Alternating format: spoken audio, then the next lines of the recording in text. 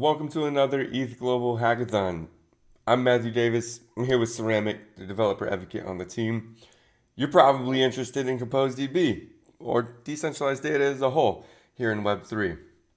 So today I'm going to show you how to like get up and running with ComposeDB. If you've attended ETH Global events before, some of this might be a refresher, but we just recently shipped a developer preview that added even more features to ComposeDB now we can build relations between documents very similar to what we would see in a left join from a regular SQL table.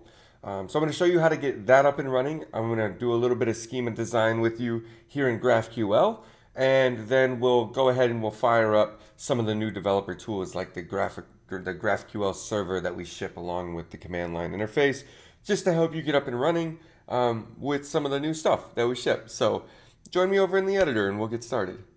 All right, over here in the editor, it's just gonna be the editor. I'm gonna kind of keep my face out of it, but I'm gonna walk you through all of the, the steps necessary to get up and running with ComposeDB quickly if you're new, as well as to get the latest feature set if you're not new. So the first thing we need to do is install some dependencies. So the first dependency we're going to install, and we're gonna wanna make this a global install, uh, is the ComposeDB CLI, but very specifically, we're gonna have this tag at next. We want that tag to be in there. That's gonna give you the latest, greatest release candidate. Now, this is a release candidate, so it's not suitable for production use, and that's very, very, very important to keep in mind. The other thing we're gonna install is the release candidate for Ceramic itself. So the Ceramic Network um, slash CLI at next as well. So this will give us the latest and greatest of the ceramic protocol and the latest and greatest of the libraries and necessary tooling needed in order to act with that interact with that protocol. So we're gonna go ahead and install those by hitting enter and pnpm is gonna run through and do its job. Now, I highly recommend that you use pnpm as your package manager. Uh, it tends to work a lot nicer with the packages that we have out. So now that we have that, we can continue on with this setup. The first thing we're gonna need, need is to generate a private key. This private key is gonna help us create a decentralized identifier or a DID. And to do that, we're going to use the Compose DB, which is one of the things that we just installed. So Compose DB DID colon generate private key. Now, this private key is going to get blown up at the end of the video, but I am going to blur it either way, but I'm going to show you a couple shortcuts I use in order to make this easy. So I'm going to go ahead and hit enter. And you'll see now I have a private key, although mine's a little blurry for you on purpose. Uh, you can then use this key in the next step. What I find valuable is I'm going to create a file in my workspace right now, but you need to be careful when you do this uh, I'm going to call it priv key, and I'm going to copy and paste my key up there. Now, do not commit this to a repository ever. Not today, not tomorrow. Make sure you save that file. This is a private key for a reason. So right now this is a bad practice, but it's a little bit helpful for development. So in your git ignore file or whatever, make sure you're ignoring this private key. All right, the, the next command we're gonna need now that we have a private key is we actually need to take that private key and create a DID from it. Um, as you can see, here's a, a, private key I used in the past. This is not the one that just got generated. Um, so this command takes an argument. You could just paste your private key in right there, like we just saw my, my terminal auto-filled for me. Um, but you could also use a little command line kung fu here, which is why I stored it in a file. And it's a whole lot less to keep track of. I don't have to constantly go back and copy and paste this private key over and over again. But you'll see now I have a DID. Uh, this is a whole lot um, less uh, secret, but still you don't want to let this get into the wrong hands. This is what's going to be your controller for data. So make sure you protect this as well.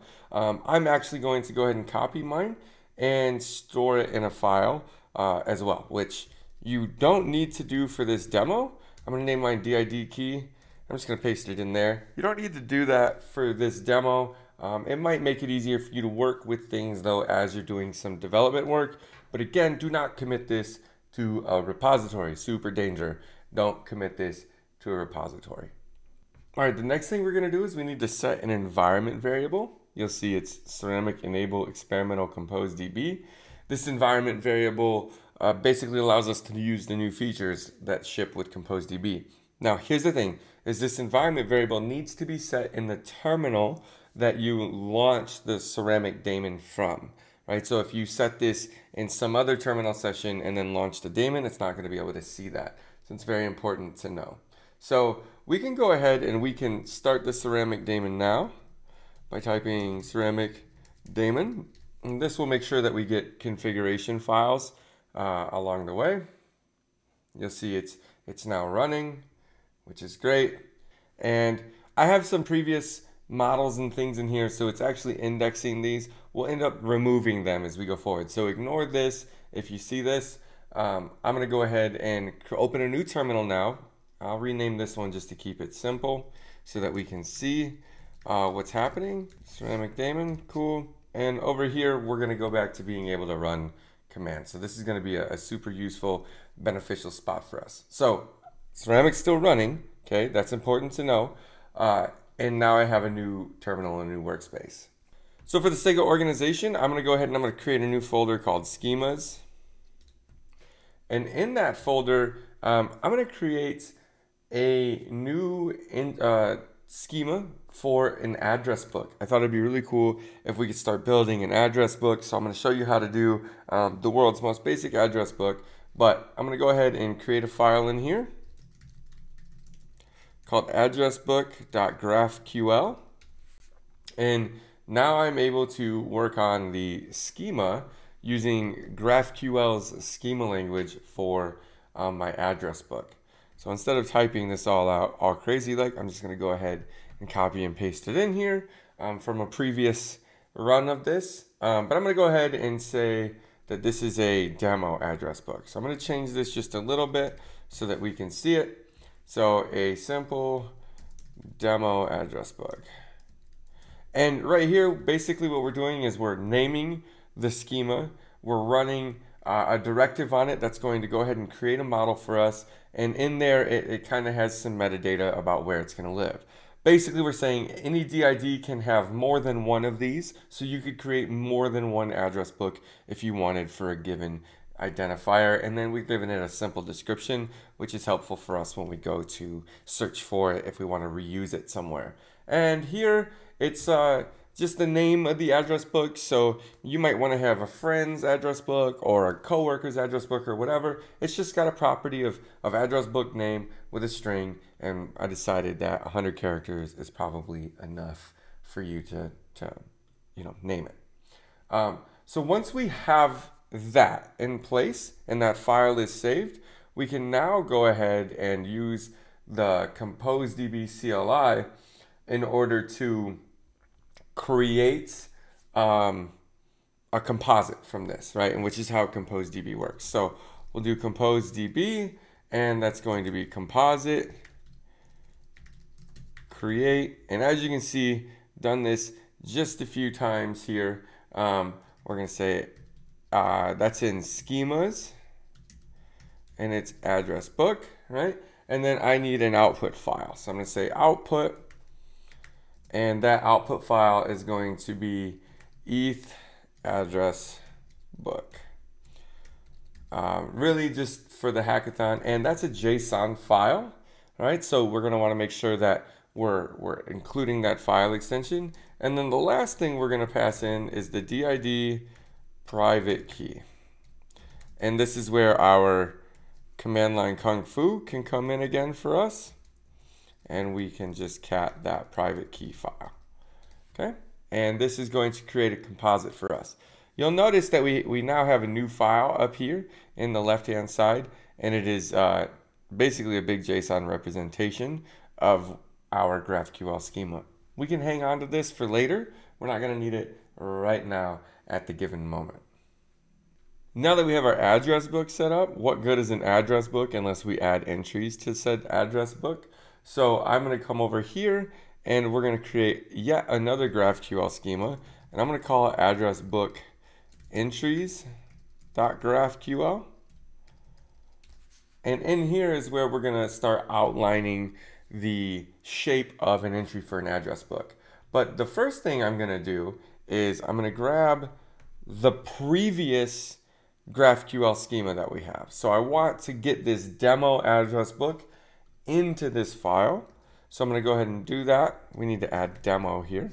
But you'll notice now the directive being used is a load model, whereas when we developed this, we said create model. So what we're telling this portion of the schema to do is like say, hey, load model, and then we need to pass it an ID. This is an incorrect ID um, for what we're using. So the question becomes, well, how do I get that ID?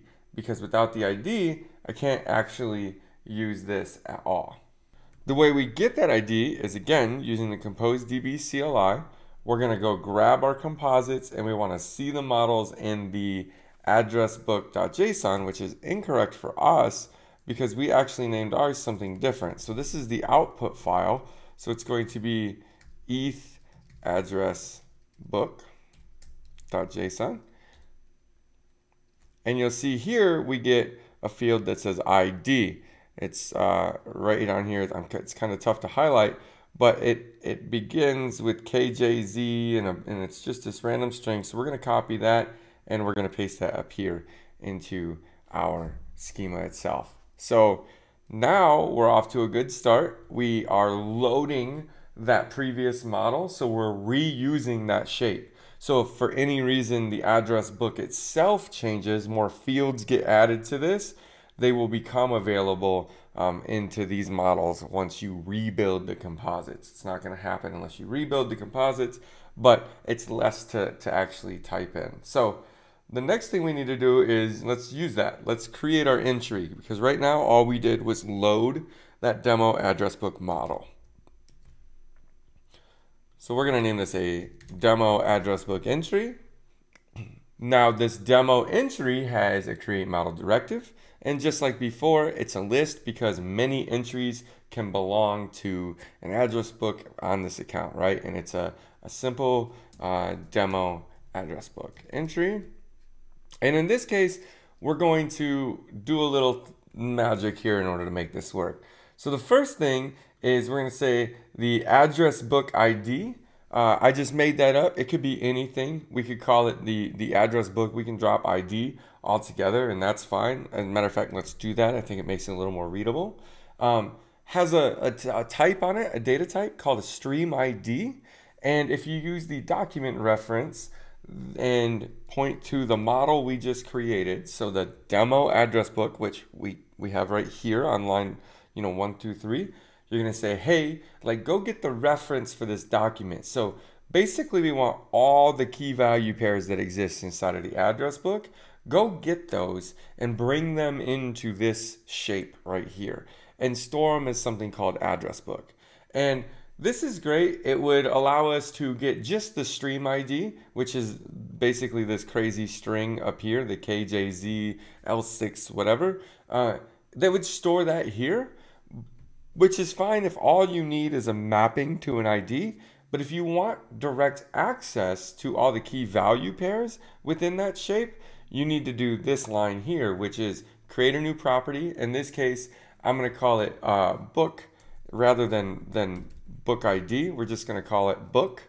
Um, and the address book is going to contain both the ID as well as the key value pairs that exist. So we're going to say, hey, that's a demo address book. That's the data type, right? It's a demo address book. And what we really care about is extract all the properties from this model. So this address book string is, is maps to this, this property here. And then we can add the custom fields for an entry, which in this case, the entry name, so like, I don't know, uh, Matt Davis, right? Like, and then my wallet address. And wallet addresses, you'll notice, is also its own shape. So let's go ahead and bring in a wallet address. Now, this is called an embedded type. Notice how it does not have a directive. Up here we have like create model. Up here we have load model. But for wallet addresses, there is no directive. So this type is embedded, meaning these two things are in the same file. This just allows it to be defined in a little bit more readable way. Um, but a wallet address, it contains an address, which is a string, and contains a, a network, which is a string. Um, so we can type Ethereum, we can type Solana, we can type whatever. Um, but basically, a list of addresses can exist inside of this entry because if I have a friend, maybe I want you know to add all of their wallet addresses. I could do such a thing. Um, this is our schema for an entry, so let's go ahead and create a composite from it. To create a composite from it, we're going to use compose DB, uh, composite, create, and then that's going to be schemas. And that for us is an address book entry this time. Address book entries.graphql. We need to set an output file and that's going to equal um, ETH address book entries. You can name this whatever you want, .json, and that's going to then need a private key to work. So DID private key, and back to our command line kung fu. You can now see why I, uh, I did this. I don't have to keep track of and copy and paste that DID. But you'll see now over here, we just got a new file generated, which is address book entries. Um, it's just like the other JSON file we had, uh, only now we, we have build time representations of each of these composites. Um, that's nice, but now we kind of need to put them together. And in order to put them together, we are going to use the Compose DB CLI to merge them. So let's take a look at that next. To merge composites, we are going to use the JSON files. So we're going to do compose DB, composite, merge, and then we are going to specify ETH address book.json and ETH address book entries.json. And lastly, we're going to supply an output file, which is going to be um, our demo address book composite. Or let's actually call it merged .json. You'll notice there was no need for a private key this time. And now we have another file here, which is the merged version of our composite. So it contains everything we need to know, everything Ceramic needs to know uh, all in one file for these two models to work together. Now that we have them together, let's deploy them over to our ceramic node. We haven't done anything to our ceramic node yet, so let's go ahead and deploy them over. And just like before, Compose DB is going to be the tool for that. It's going to be composite deploy, and then we're going to say uh, demo addresses merge.json. And again, no private key necessary for this. But what is necessary is that we capture the output. So don't capture the brackets, but each of these is eh, the stream ID for the model or the composites that we have deployed. For indexing to take place, we need to copy these because we need to now edit our ceramic configuration in order to tell our ceramic node to index these models and pay attention to them.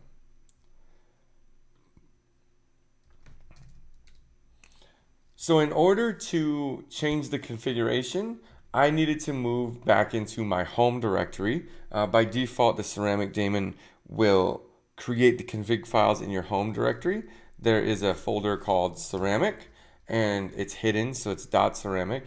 And if we move into that, you'll find a file called daemonconfig.json. Uh, so let's actually go ahead and open that config file here in VS Code daemonconfig.json.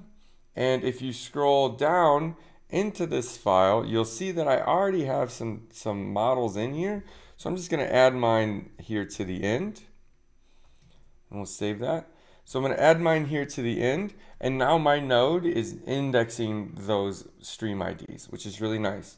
But it's not really doing much at the moment. So let's go ahead and change that. Let me go ahead and delete this terminal. We won't be needing it. All right, now that our, our configuration file has indexing ready to go, we need to come back over to where we were running the ceramic daemon. I'm gonna hit Control C to stop its operation. And I'm just gonna go ahead and restart it here. And let's just make sure it starts up effectively. You'll see now we have a whole lot more indexing taking place. So we're gonna leave this running and it's fully configured to pay attention to our new composites. And now we can move on with actually interacting with these newly created composites that we have. It's important to note that everything we've done up to this point has been what we'll call a build time step. So this was just preparing the data and our schemas for our applications to use and for us to interact with. We're almost done with that. We actually need to take a step now to go from build time to runtime. And we do that using ComposeDB. And we're gonna say composite compile and what we want to compile the composite file, this merged file that we have, and we're going to turn that into a runtime file. So for ours, it's demo addresses, and we're gonna say the output is demo runtime.json. And you'll see we now get another file here, uh, this demo runtime, and it looks very similar, but it just has a little bit of different metadata into it and, and helps take care of the GraphQL scalars and things that we need, right? So we now we have a runtime representation that we need to uh, use. This is what we would pull into our application. We would say like, hey, read this file. This contains all the data you need to access the other files that we've created along the way. And that's exactly what we're gonna do here. We're actually gonna start a server called GraphiQL, which ships with ComposeDB, but we need to pass this file to it so that it knows what to look for. So in order to do that, uh, compose DB, I'm gonna say GraphQL server, and that's gonna be GraphiQL. A lot of this is gonna be very, very similar. We're gonna put it on a port. I'm gonna put it on a different port for me. I had some some trouble with port 5000. If for some reason you're running something on port 5000, you can change this. It's not going to um, ruin anything by you doing so. And then we point it to the runtime file, which for us is demo runtime. And lastly, we are going to do a, a DID private key like we have been, and we can continue using our command line kung fu in order to make this easy for ourselves. Now we need to pass in the private key so that GraphiQL uses our DID. Without doing that, we, uh, we won't be able to write data down to Ceramic. That DID is the controller for our data stream. So meet me over in the browser. Let's go ahead and take a look at this thing. You'll see in order to get there, we're going to copy and paste this URL that just came through in the output. And uh, it'll take us to a GraphiQL explorer. Okay, you should see something very similar to this if you have followed along to this this far and uh, you've opened that GraphiQL explorer in your browser. Um, so now we can actually start making queries for things. I think the easiest thing to do is is actually uh, query to see if we have the demo address book. All right, so we can write a very simple GraphQL query. Um, you'll see that demo address book is, is what we're calling on. And uh, I'll go ahead and I'll write this query right here for you just so you can see how awesome GraphQL is with this.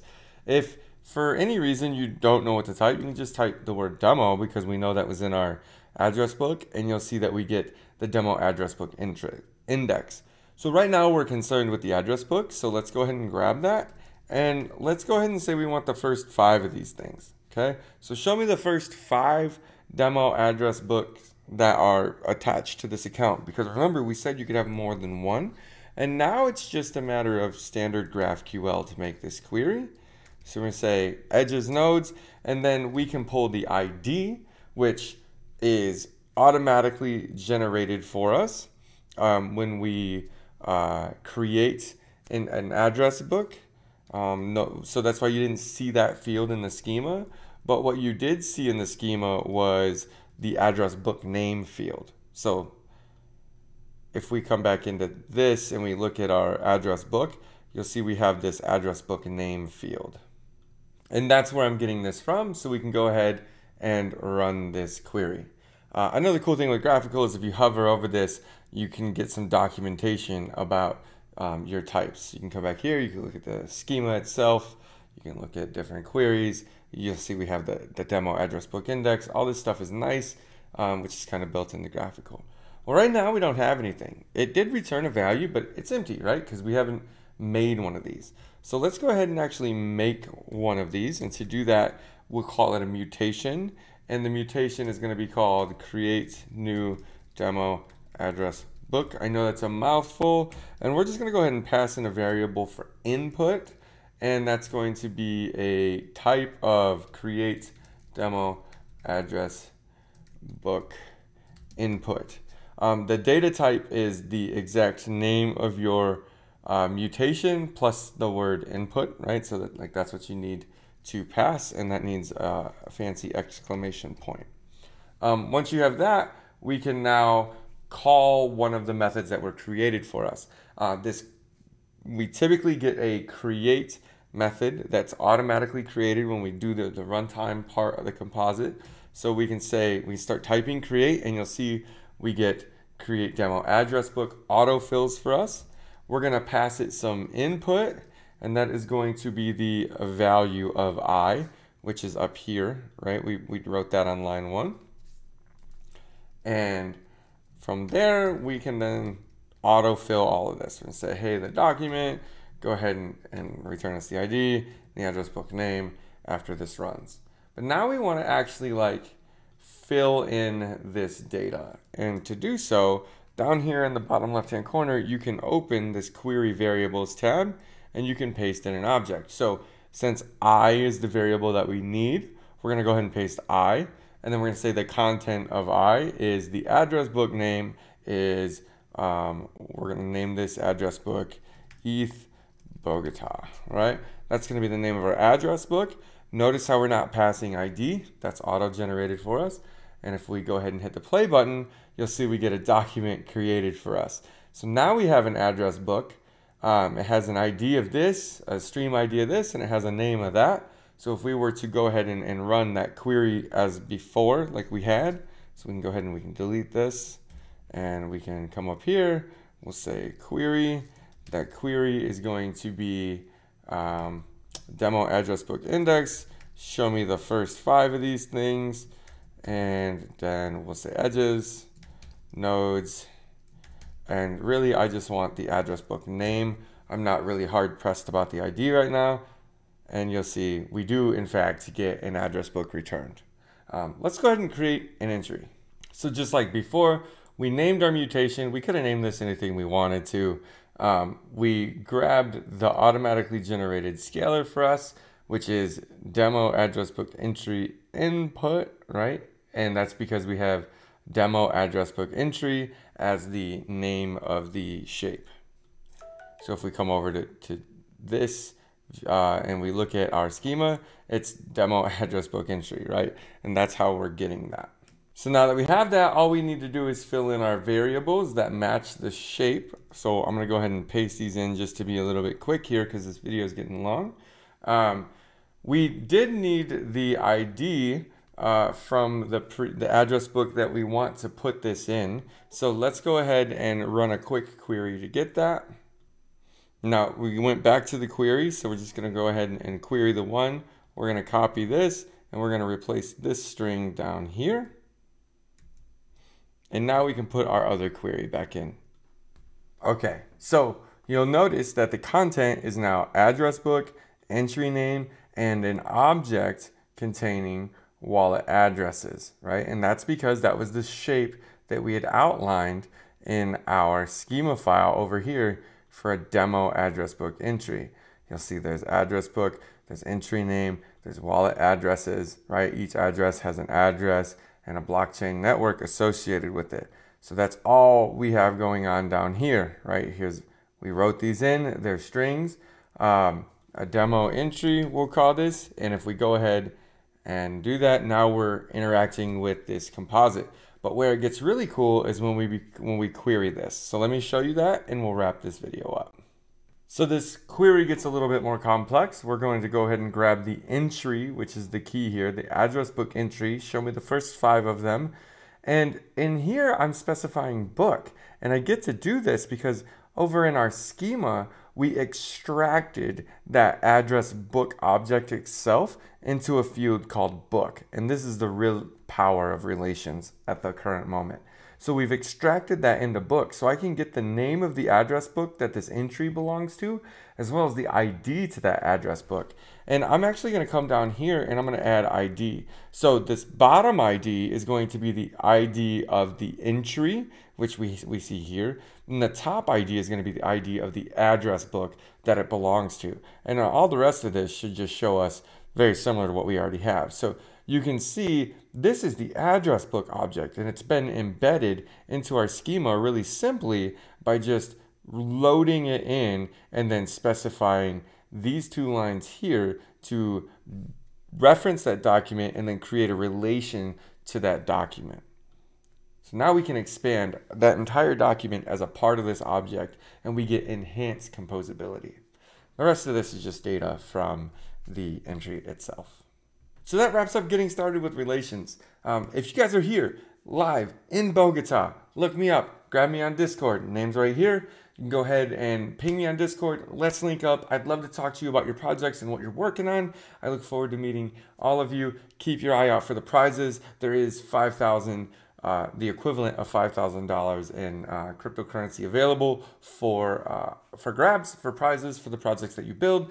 Um, so happy building. Hit us up in the Discord. If you need help, check out our forum, uh, all the typical spots. And But most importantly, try to link up with us. We got a bunch of team members here in Bogota right now. So hit us up on Discord. Try to link up with us. We would love to meet you. And uh, happy hacking.